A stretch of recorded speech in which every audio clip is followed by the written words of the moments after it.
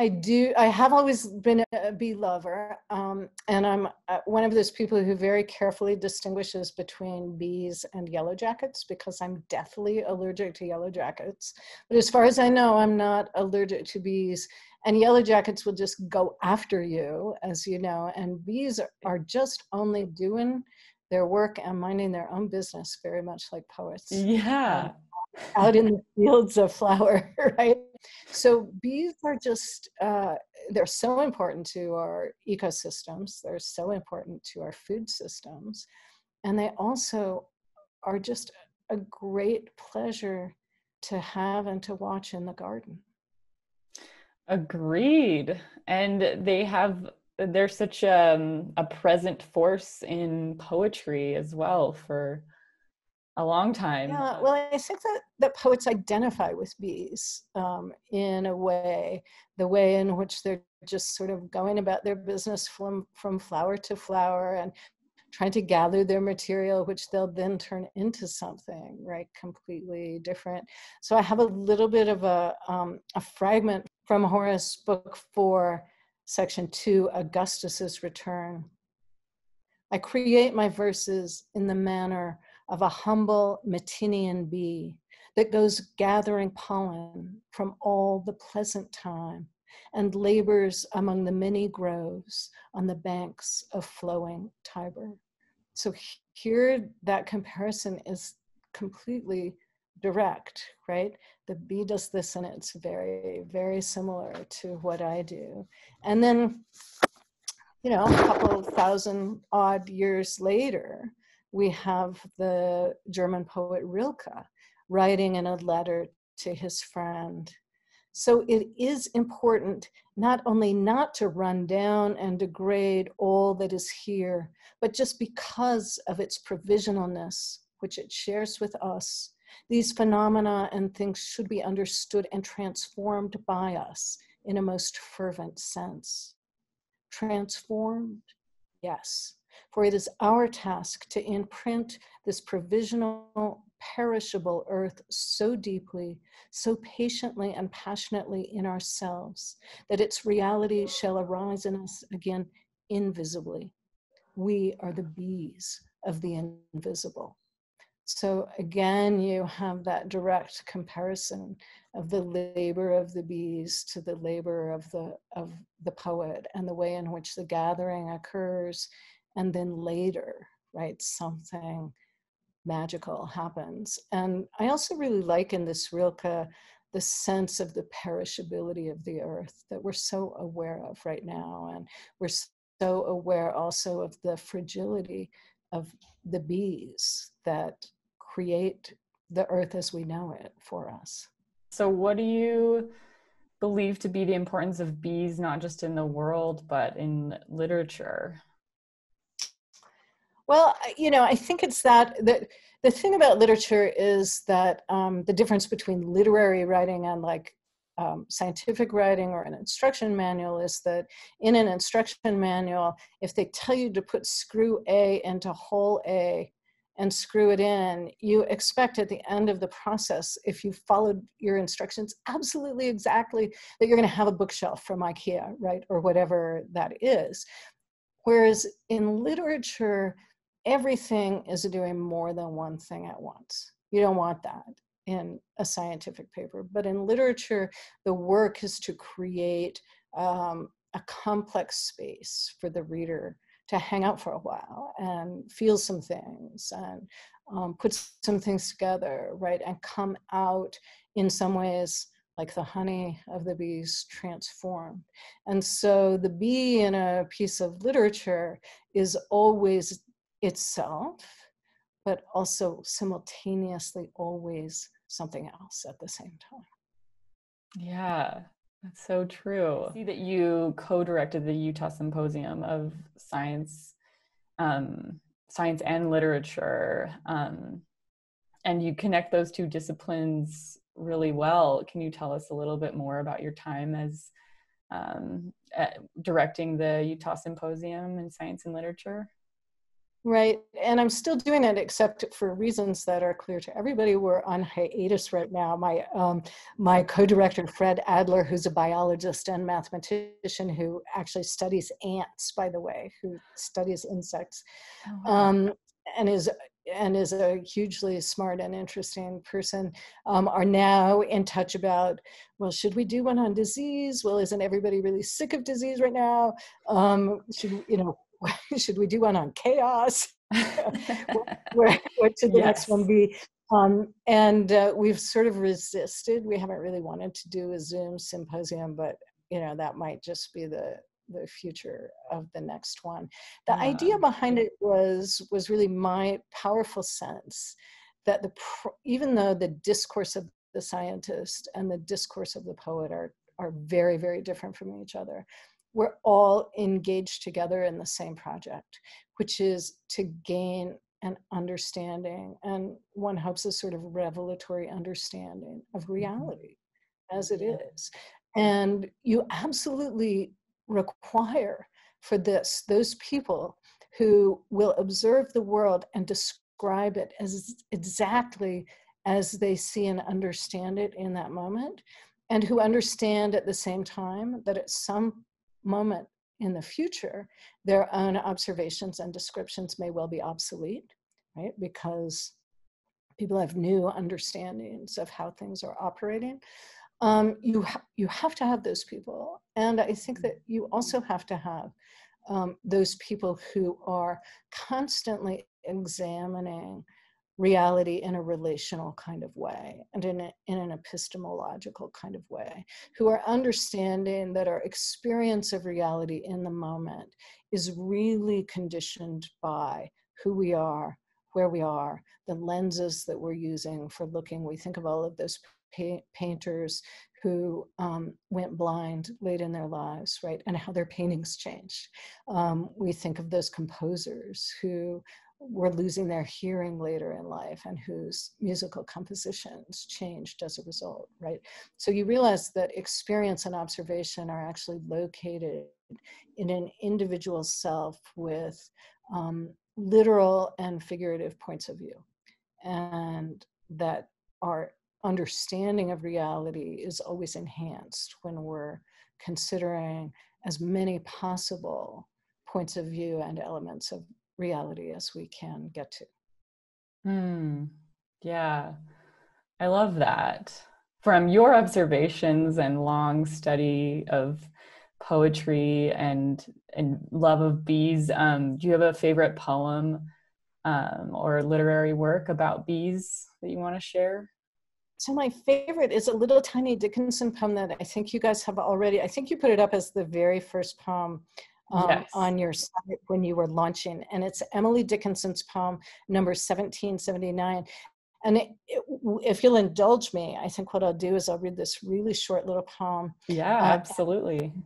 And then I'll talk about it for a second, and then I'll read um, a little bit of a piece of an essay, just a tiny piece that um, I've been writing that includes um, my thinking about this poem as it is right at the moment. Yes. And I just got finished yeah, and I just got finished teaching a class where I reminded my students that you know every journey through a poem is different, even if it's the same person making the journey. So I'll say that what I'm going to say today represents my relationship to the poem right now, but come back in five years and see right um, yeah. what it is. So this is Dickinson's poem, 1779, um, and it's known as "To Make a Prairie." To make a prairie it takes a clover and one bee. One clover and a bee and reverie. The reverie alone will do if bees are few. And I chose this one, or I love this partly because I was talking about instruction manuals just a minute ago. This poem is an instruction manual, right? It's an instruction in to the reader in how to make a prairie. But of course, anyone who's really paying attention will know that if you do, if you follow these instructions, you're not going to end up with an IKEA bookcase, much less a prairie out of this. Um, and Dickinson, who was a serious gardener and also very well trained in botany would have known um, that, first of all, even if you're working with um, clover that propagates through pollination, you can't make one with one clover and one bee. You need right. to start with two clovers. at, right? At a minimum, you need to start with two clovers. And if you're dealing with the kind of clover that propagates, because there are both kinds, that propagates by roots underground, and this is most prairie clovers, you actually don't need any bees for that. The clover mm. can take care of that all by itself. And then the other thing that you realize is that either way, if you're starting with two clovers and a bee or only clover, um, it's going to take like hundreds of years for this to happen. It doesn't just happen overnight. And then you notice that there's that weird it in there. She doesn't say to t- to make a prairie take a clover and one bee. She says it takes a clover and one bee. And so then you have to ask, mm-hmm. well, who's this it? What is this it? Is this nature that's operating? Is this God that's operating? So maybe she's not telling me um, how to make a prairie at all. And then you get huh. that turn. Yeah. And then you get that turn into line three, which takes the poem into a whole different realm because she says, and reverie. And then you think, which is daydreaming, right? And then you think, well, mm-hmm. you know, how does she's really moved this into the mind? The prairie is being made not out in the world, but in the poem and in the mind of the poet and in the mind of the reader. And then she takes the final step, which is the reverie alone will do if bees are few. So you don't actually even need bees, you just need the idea of bees. You just need mm-hmm. the metaphor of bees, right? And the clover for this for this um, prairie to get to get made. Yeah. Um, so right so this is the difference between science writing and poetry yeah science writing probably wouldn't talk about daydreams but they're nonetheless important they're nonetheless important and in fact and a scientific journal would never publish something that said well all you really need is daydreams you don't need the right any clover or any beast so so the little paragraph that um, I'm going to read to you from my essay, um, I'm thinking about this poem, and I've done something like what I just did to you, describing the instruction manual thing. Mm-hmm. And another poem that comes in here is um, Sappho has this wonderful poem in which she has a red apple flying in the top of an of an otherwise bare apple tree. So that gets mentioned in here mm. as well. Mm. mm.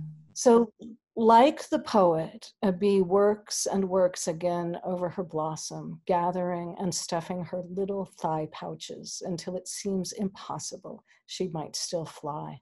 The blossom keeps yielding, and between bee and flower, I am entirely carried away, flying like an apple, or rather like a bee loaded down. The poem has found and instructed me as it tells me in its last turn, not in agra or apiculture, but in reverie, the making of a dream of clover over which a bee in her singular resonant multitude browses, as do I. Conjured objects and revered, clover, apple, bee, release me into the dreaming field of poetry, and this is the poem's instruction. Neither for me honey nor the honeybee, says Anne Carson's Sappho. And yet between them, Sappho and Carson, like Dickinson, give us both. Wow. Thank you. I enjoyed that. The last question I wanted to ask is um, How have bees and pollinators um, come into play in your life and your life's work? Well, um, I'm I'm glad you extended that to pollinators. I know that's really what your festival is about. Yeah, yeah, not just honeybees, not just bees, but butterflies, birds, uh, spiders, um, so many different insects are pollinators too. And we always we tend to forget that because native bees are the most efficient pollinators. Yeah. Um, so we actually have um, a couple of mason bee houses on our property. Oh, nice.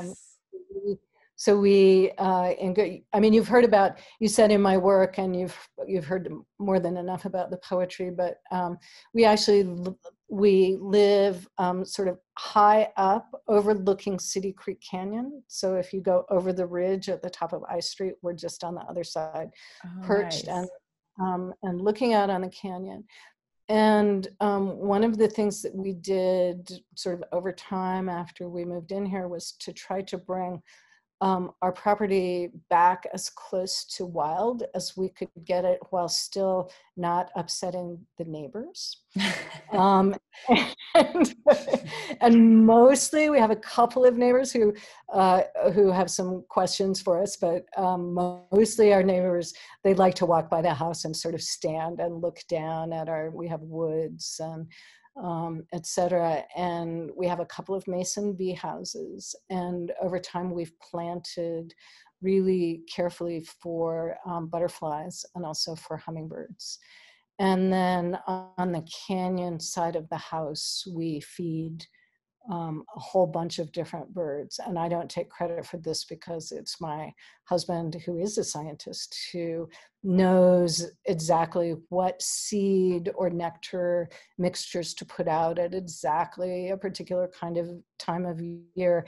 And we usually manage, he usually manages to get the feeders change really within a few days of when we see that bird who's only here, you know, from from July to September, or who's only here in the winter time, um, or who's only here near Mother's Day, right, or whatever.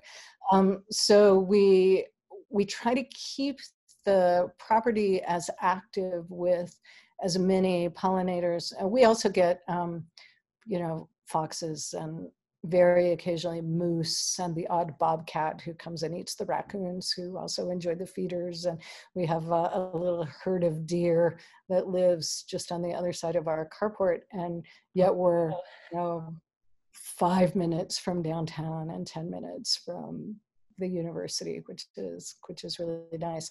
But we've actually um, and especially my husband has been really active in researching what we need to do to keep all kinds of wildlife, but especially the pollinators happy and um, mm-hmm. living on the property. Oh, wow, that's so great. You have a whole menagerie in your yard and yeah. and it sounds like your your husband brings in the science and you bring in the poetry and the you know the art the artistry in there and I'm sure that's they love it. It sounds like. well, I don't.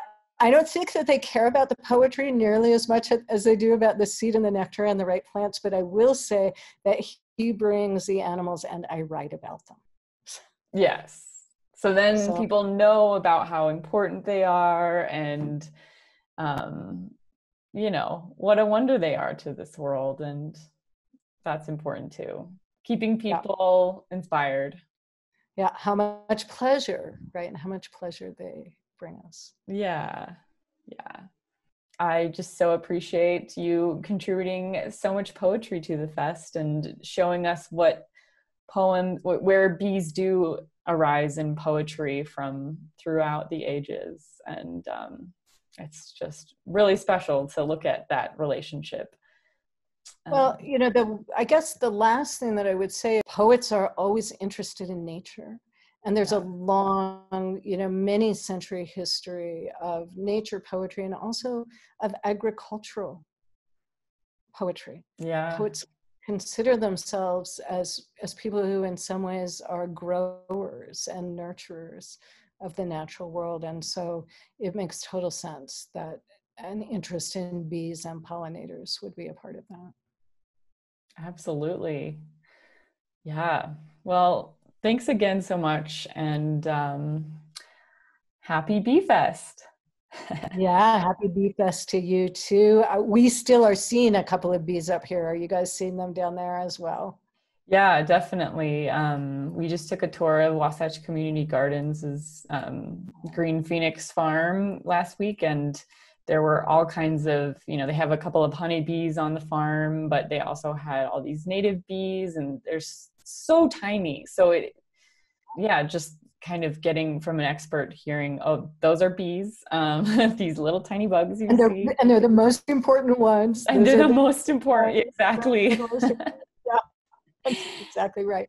All right. Well, yeah. good luck with the festival. And uh, thanks for asking me to take part. Yeah. Thanks so much for taking part.